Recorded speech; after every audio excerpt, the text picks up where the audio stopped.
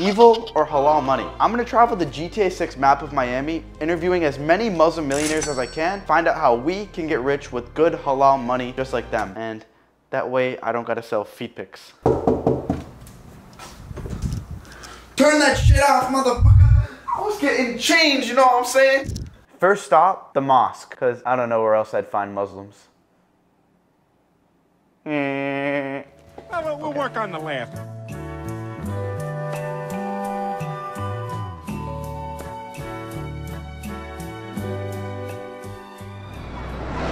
We went to the first masjid and the security guard told us to get No.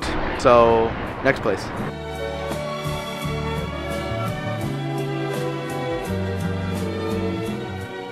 Okay, so we just got to the second uh, mosque. It says it's a Pentecostal Church of God, and yeah, I don't know. It's uh, it says Christian there. So to the next mosque.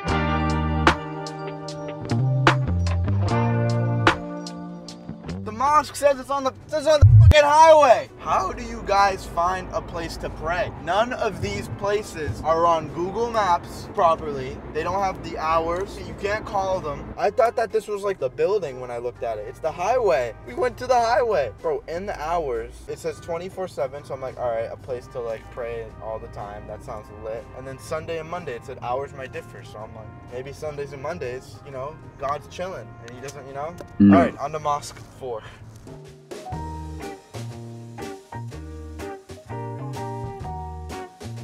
Mosque number four. I am done No. today with looking for mosques to get into. Um, so I just threw up an Instagram story. I'm looking for some Muslim millionaires to get interviewed. So I just threw that up on my Instagram. So we're gonna wait for some responses, and yeah, I'll keep you guys posted. Three hours down the drain, driving to different mosques. Hope was running low, and I never found anyone. So that's the video. Just kidding.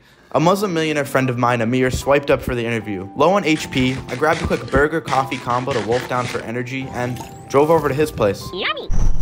Alright, I think this is, this is it. Oh, Yo, what's going on, man? Awesome, bro. Welcome to the crib. Uh, a little bit dirty, had a couple guests over, but uh, yeah, this is one of the cribs, so welcome. The Muslim millionaires and just they're massive places, bro. Well, I want to interview you real quick. You down to go on a, a little drive? Let's go on a drive. Yeah, let's talk. Let's hit it. When did you actually become a millionaire? Just right when I probably turned 19, yeah. What was that like when you finally hit a mill? It was like money directly in my pocket, right? You hear people say, oh, revenue and I make this much per month, but they're not actually putting it in their pocket. So, me actually starting to see put money in my pocket, that was great. And that's when I started seeing like money come in. That's when everything started changing. That's when the lifestyle got upgraded. And, you know, obviously I was able to help the people around me. So, yeah, that was great. If you had to start from zero today, where all you had was your brain, you lost your connections, all your money, but you just had your brain, what would you do? Probably I'd get involved in um, something that involves selling products online or selling services online. I'd start with that, take that money and then put it into products, put it into different things, put it into investments, and then I'd just scale out from there. What are like some of your biggest networking tips that you have for people? A lot about networking is the way that you introduce yourself. Like you have to be able to know how to introduce yourself to certain people. If you're introducing yourself to someone that is very big in stock trading or whatever, or a big hedge fund manager, you're not gonna say, "Oh yeah, um, I sell gummy bears." Like you're not gonna say that. You'd be like, "Hey, like you know, I also know like a lot of people in you know this industry as well as you. Uh, do you know this guy? Do you, do you know that guy uh, in your industry?" Like you have to build some type of rapport. You have to build some type of connection to them and make them feel comfortable in their environment and make sure that they know that you know a little bit about what they do and you know in return hopefully you guys can share a connection and you know link up later and you know if it's whether it's money involved or not keeping around those people is really important because you never know when you're going to need them What's the importance of making money the halal ethical way and not just going for quick OnlyFans dollars and doing Yeah. some haram ass shit basically? so it's super important to be morally correct. It's super important to make sure that everyone gets taken care of. It's super important to make sure that you stick to those values forever right? I have this crazy story. One of my friends he owns a boat. He was renting out the boat. So he found out that while he was renting out this boat there was people that were on the boat. They were partying drinking and all this. We was lit. And then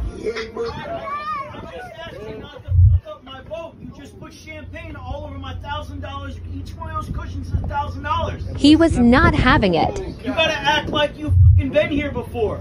Ew. He said, this. I hate this business. People are renting my boat and drinking and partying and doing all these degenerate activities. What he did is he sold that boat and he never got into the business ever again. It's always good to make sure that you're keeping your money halal, just as other people, you know, in the Jewish community, they keep their money kosher, um, and all these other uh, communities that are more religious. It's very important. 100%. Keep the money halal. Amir, bro, thank you so much for the interview. I No appreciate worries. it. I have a couple more boys that I want to, in- to introduce you to. I think you're gonna like them. So let's see what happens. I'll, I'll see you next time. All right, perfect, perfect. Yeah. Assalamu alaikum, bro. Walaikum. Amir is reaching out to some of his Muslim homies for us, so as I'm patiently waiting on the next brother to interview, I'm gonna hit the streets asking. Excuse me, ma'am. Are you Muslim? No. Are you a Muslim? No. Are you Muslim? No. Are you Muslim? No, I'm not, mate. Seven hours in, and only one Muslim millionaire interview down, but luck came through. Amir hit me up, and he actually has a friend only a few minutes away. So let's go meet up with them and get some more input on how to get rich halal. What's your name again? Mo. Mo? Where the fuck are we? This is where people come to work and not fuck around. You think you're more productive working in an office like this? The biggest thing is if you're sitting somewhere where people are fucking around, then you're gonna fuck around too. But if you're sitting in a, in a place where obviously people are making money, getting shit done, you're also gonna get shit done too. What were your first steps in entrepreneurship? Like, what did you do? First step was honestly YouTube, as simple as that. So first I wanted to be a YouTuber as soon as I got here, but I was like, ah, that's pretty hard and camera equipment is pretty expensive. iPhones weren't as good as it is now. I ended up doing is I ended up finding a sales job. I found like one of those stupid banners where you're walking around the hallway and it's like $35 an hour. I picked one of those up and it was uh, cutting knives or selling knives at an office. And I went in there and I'm like, there's no chance. Like, this looks like a scam. So I went, instead of doing that, I found another job, which was door to door sales. And that was kind of my first step into entrepreneurship. At what age did you become a millionaire? I would say it took me about four years of like actually hustling, grinding, figuring out what I'm really good at until I first my until I made my first million. And then once you make your first million, it's pretty easy to kind of maintain that and make more and duplicate your money from there. So it took me about four years. And what industry are you in now? Ecom. Ecom. So like, can you like elaborate a bit more? Like, you sell like slippers? Like, what do you sell? Yeah, so funny enough, I didn't make my millions in ecom. I actually made it in crypto. But what I did do was I obviously built skills that generated me a lot of cash flow and money through ecom and then grabbed that money and put it into crypto. And that's where I really made my millions. In terms of what I sell, right now we just build brands that are either feel good or look good. So we either focus on selling products that make you feel good in terms of supplement wise or look good in terms of beauty and cosmetics. Is that all halal money? I would say so. All of our products are halal stamped. So yeah, there's no gelatin, there's no pork. We're not selling drugs or hookers. So it's definitely all halal for sure. How has it been with being an entrepreneurship, especially in Miami, staying, um, being fully halal with money? There's so much devilish temptations where you can make a lot more money. How is it staying, I don't know, I guess close to your soul and like with your morals? Yeah, I think the biggest thing is just staying close to God and Allah in general. So as long as you keep going to the mosque, you keep believing in your faith, and you understand what's good and what's bad for you, then the blueprint's already written for you. Like, you know, in, in Islam, everything you want to follow is already in the Quran. And anything that's bad for you is things that are prohibited from God. So as long as you continue to follow, obviously, what God sent you, and you be, continue to be ethical and do ethical things, then the halal will always be there for you. And, and you never want to go for, you know, I look at haram as like quick money. Quick money is never how you build wealth. Quick money in, quick money out. Exactly. So the quicker it comes, the quicker it goes. So coming from Syria and then making it as an entrepreneur, like what do your parents think of that? They probably thought like everything I was doing was a scam or haram because it's like one day you're broke, you know, you're working at a restaurant as a busboy, and then the next day you come in with a brand new $3,000 MacBook. And they're like, where the hell did you bring this money? So it took me a few years actually for my parents to understand, you know, how I make my money and where, but you know, their number one rule is always like make sure it's halal, make sure it's like you're not doing anything illegal. What's your last piece of advice to your Muslim brothers that are out there trying to make it in entrepreneurship? Because the premise of this video is how do people get rich while sticking with their morals and not getting sucked into the devilish temptations? Yeah. I mean, I'm not gonna lie, I've been sucked into temptations before, but luckily because of the foundation I had, I was able to kind of like stay out of it. I would say the biggest thing that I look at right now is who are you close with, right? Like shout out to my boy Fez, founder of Sweet Dreams actually, you know, great Muslim brother, always at the mosque, always kind of pushed me to be the best Muslim I can. So I think the biggest thing is just stay close to people who fear God as well. And as long as you're with those people, they push you to continue to be close to God, then you're in, in great hands. Rather than hit the streets again, you saw how that went. We had Mo hit up a few of his friends to see if they're down for the interview as well. I mean,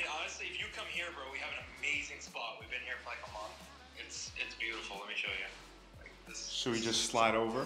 Should we just slide over? Yeah, slide, bro. Just slide. That is pretty nice. We'll, we'll take care of you. What do you guys need? You guys need water, food? You, you, oh, shit, I'm tempted. Okay. yeah, pull up and let me know if you guys want to eat or anything. I'm about to order food. All right, sounds good. All right, thank you, bro. See you soon. Bye. See, one thing about Muslims and Arabs you'll never find anywhere is hospitality. Number one, hospitality. Anything you need. You see how many times he asks you, you want food, you want drinks, you want water? Yeah. No other person will ask you that before you get there. No, that's so true.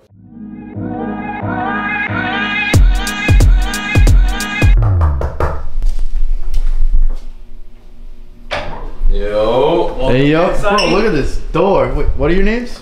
Zan, what's good? bro? What's up, guys? Great to meet you. Hudson.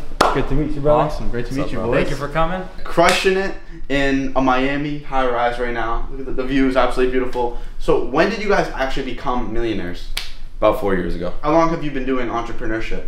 Our whole lives. We've been building businesses for nearly the past decade together. I remember when Zan was selling skateboards at the age of 12, so uh, I've had good role models with him and my father my whole life. That's fire. What industry did you guys become millionaires in? Where'd you make all your money? So initially in the Web two e-commerce, online sales, digital marketing space. Sold a Shopify store for like 15K. We had drop shipping stores, physical product stores, Amazon stores. Uh, Honestly, anything that allows you to generate money online, we've done it. We've tried it, yeah. And the first big break was Amazon. We did seven figures on Amazon. If you guys had to start from zero, like all you have is your brain, but no money, no social media, is nothing, what would you guys do? I would build up a skill and then provide that skill to the market and use that skill until I could build a product or service around it. Yeah, and I would go find people who I can, you know, go work with, even if it's for free, and build up those skills and tone, hone those skills so I become highly effective, uh, and also can benefit from their network, from you know all the all the mentorship that they can provide me, because that's going to be like there's no shortcut to success because you got to work hard,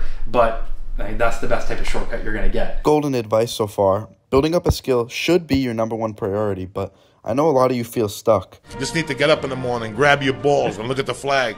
You see me talking about it, but posting shorts is an amazing way to make cash right now, and it's what I'm best at. So I'm gonna be hosting a free live coaching call to show you guys how to get started right away, and it's all halal cash. It's gonna be an hour of free game, so you definitely don't want to miss it. The link to register is at the top of the description. Back to asking the importance of making your money the ethical halal way. Money simply just amplifies who you are. So, you know, we said it earlier, right? It's, you know, being a millionaire is nice, being a Muslim is better. You know, if someone came to me and told me that you can have all this money, but you have to lose your faith, both of us would easily be like, it's all good.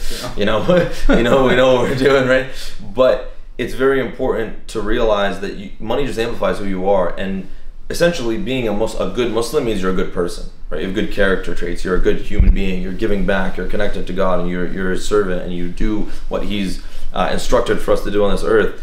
And all that means is that when you know you get your money through bad means, it's only going to amplify bad things in your life. If people can sell their soul to the devil, you have to know that there's also the good side of it. There's also God, and it's it's a fight in this world That- between good and evil. That's Yep. such an interesting point because everyone acknowledges that these celebrities are selling their soul, and I'm Yep. like, if you see that, that's automatically proof of God, right Yep. there. Yep. Because they're not. It's not a coincidence. If you're gonna make 50 million in a lifetime, that's already guaranteed by God. Yeah, I mean, and that's it's, written. it's literally just up to you whether you make that in the right or the wrong way. Yeah, I mean, for example, right? Pick up your right foot.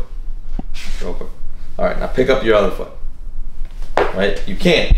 And that's basically the distinction between destiny and free will. One is destiny. So that amount of money, whatever it is, that's destined for you. How you made that money, what you did when you got that money, how you thought and what you did once you had that money, did you act a certain way, right? Or whatever it may be. You know, I've always been incredibly conscious of okay, now that I've received this blessing or whatever it is, what am I doing with these blessings to show God am I grateful or am I not? Am I am I ready for more or am I just you know so foolish that this came into my life and I've completely changed as a person. Right? You want to become a better person the more money you have. You want to be a more spiritual Muslim and pray more when you have more wealth and blessings and whatever it may be, and, not and, less. and alhamdulillah, it's all a blessing from God. Even just having being born into a Muslim family, I, it's the greatest. That blessing, is the you know? biggest blessing. Uh, Blessing. so you know, I, I wouldn't take credit for it. You know, even when people say self-made millionaire, I don't consider myself made a millionaire because one. Yeah, we've never even said that. We've never even said that. I have Yeah. my brother. I have my dad, who I wouldn't be who I am without them. But then, if I didn't have God, if I didn't have faith, like who would I be? God made me. Yeah, God, yeah, God made us exactly. millionaires. God Exactly. did. All right, boys. I think that was Yeah, it's very very helpful. similar, bro. Can you just give me a quick house tour real quick? Absolutely. The bathroom of a Muslim millionaire's place. Ooh, very nice, very nice. Kitchen, bunch of lads hard at work. They all stared at me as I took this shot. Balcony, not too shabby of a view, eh? Yeah, I love my job. And the most important part, the table, where the halal millions are made. This is an exact skit of how those meetings go down. 100% accurate. Please, uh, don't question my uh, journalistic integrity. Dude, it was great having you, man. You have any more interviews planned? Yeah, I got one more really, really big one Yeah. lined up, and then that's about it, bro. But thank you. Yeah, of course, bro. Appreciate it. All right, we'll see you guys soon. Thank you. This big ass door. On to the final boss of the interviews, Ahmad Mahmood. By the way, all these interviews came out to like a half hour long, but for the sake of Miss YouTube Susan not ruining me, I had to cut them down. So if you want to watch the full interviews, they're totally free in my SonnyFaz Discord. And uh, okay, interview time. Ahmad, it's great to finally meet you. I saw you for the first time when you were doing like the Tate stuff. You really popped out of nowhere, so you know I appreciate you taking the time out of your day to do this interview. Um, just got a few, few quick questions. The first one is, when did you actually become a millionaire? I became a millionaire six months ago. How long were you in entrepreneurship before hitting seven figures? Since 13 years old. When I was in school, I was selling lighters and then I started selling sneakers, you know, waiting in line for the new Yeezys and then started doing car sales, like luxury car sales. Really started working at 13. That was when I did my first influencer marketing move. And then that was the start of the agency. And that's when really things kicked off with the sneaker business. And that's obviously the business that made me the most money. What industry are you in right now? What are you What are you grinding at all day, other than Tate interviews? Uh, so the interview is just for fun, you know. It's like how people play sports on the weekend. For me, the podcast is just purely fun. I barely make money from there. My main source of income is definitely my influencer marketing agency, Plug Media. So that's really what we what we focus on. If you had right. start to start from zero, nothing, all you had was your brain, what would you do? Okay, it's a good question. I would probably do, you know, I would say ecom because it's such a guaranteed way to make money if you like put in the work, like drop shipping. If you're willing to spend the hours, it's like almost guaranteed. But I tried it and I find it really, really, really boring. Like I, I hate it. So I'd probably end up doing what I'm doing right now, which is influencer marketing and personal brand. So I'd just start uploading on TikTok, three videos a day. I can guarantee anyone watching this video right now, if you upload three videos a day of filming yourself, like yourself actually talking to the camera, three videos a day for three months and you don't have at least 10,000 followers, like I'll give you a thousand dollars, you know? I want to ask you about the importance of staying religious. You're a Muslim, and how important halal ethical money is because I even know in the Quran it talks about the differences of the types of money that you make. I consider myself pretty religious. I'm not nowhere close to where I want to be, but I pray five times a day. You know, I try to avoid sin at all costs. You'll never see me with like, I will never post a girl on my page one time. You know, I never have posted a single picture with a woman. So I, I'm very careful with my content and I try my best to stay halal. Even when it comes to agency, I've turned down a lot of deals. So I think God is everything. Like if you have a lot of money, but you don't have closeness to God, you have nothing, you know? If you don't believe, you're just, you're, you're living a life in nihilism. It's just meaningless. You're just waiting to die. And when you die, nothing happens. There's no accountability. So I may as well, you know, fuck that guy over or uh, kill that guy or steal from that guy, you know, because there's no accountability if there's no God. So even if you don't believe in God or like it doesn't make sense to you, it would benefit your life and serve you so much if you did. Easy money in, easy money out is one of the truest things. Yeah. So like it not only will you not feel satisfied, it literally bites you in the ass. You see it actually. These people who make money illegal or like unethically or haram, the way they spend it is insane. Like because because they don't know the value of it because the way they made it was so easy. So you'll see these same people they'll just blow it on shit. You know, like for example, these people who do the casinos, they'll just blow a million here or a billion there because and I don't want to name names. You know, I don't have uh, anything any hate in my heart against any specific influencer or creator. But what I'm saying is, you see the way they made the money it was it felt easy because that's the way they spend it. So you end up spending that money so quickly because you don't. If you see like drug dealers, for example, historically, they're the ones who have like these flashy cars and these flashy lifestyles because they don't know the value of money because they kind of made it easily. Whereas the people who strove to make like companies and like off the backs of labor and grind and sacrifice, they don't spend it the same way. And you need to make it like that because so you understand the value of it. Because otherwise, if you got it so easily, you're just gonna blow it, and then you're just gonna become a degenerate. You know, because sometimes blowing that money, you will end up ruining your life. The last thing I want to ask you is I want to get some networking tips from you or and stuff that you could share with people watching this video because in the last I don't know year and a half I've seen you interview Andrew Tate, Sneako, Fresh and Fit. You were just in the Nelk Boys video, I'm pretty sure. What do you do to get these crazy connections? I can't say 100% that I, this is all my effort. I'm definitely gifted with this kind of thing. It's probably one of my best attributes about myself. So there is a huge natural element to it. But I have crafted it over time, you know. So, you know, books like How to Win Friends and Influence People, I've read and I've used those strategies multiple times. But I think one thing that people underestimate a lot is the real value of being yourself. And I know it sounds so corny, but really, like, I think people sense when you're someone who's true to yourself, like you are who you are. You know what I mean? In this space yeah. with the influencers and all this stuff, it's so like it's like refreshing, man. When there's someone who's genuine, and like you can actually it almost feels like you can like look into them when you look in their eyes. Like for example, Tate. The reason why I know Tate is I messaged him when he was just starting to pop off, and I've done that with many, many, many big celebrities. I hit them up when they were just on the come up, you know, and direct message offering value. So Tate, before I did the podcast with him, I I got for him a hotel room for free. I got for him a Maybach for one month with 24 hour service. I arranged for him a, a, a sky, uh, not sky, sorry, um, a desert buggies. I arranged for him jet skiing. Like some of these stuff we didn't end up going with it, and, but and I had arranged the plans. You know and I did everything so... before before I asked him for anything. Like I gave all the value first, and then I asked him. Even when I asked him, I told him there's no strings attached. If you say no, the cars are still yours, the Maybach is still yours, the plans are still planned, everything is gonna happen. So okay, no that's the real, that's the juice right there.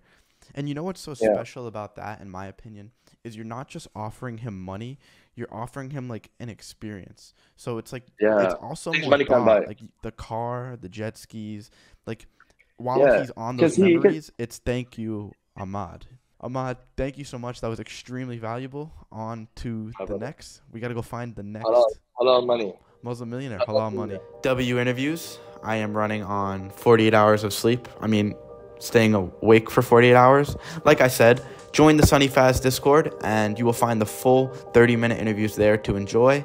And with that, peace, guys. I'm going to sleep.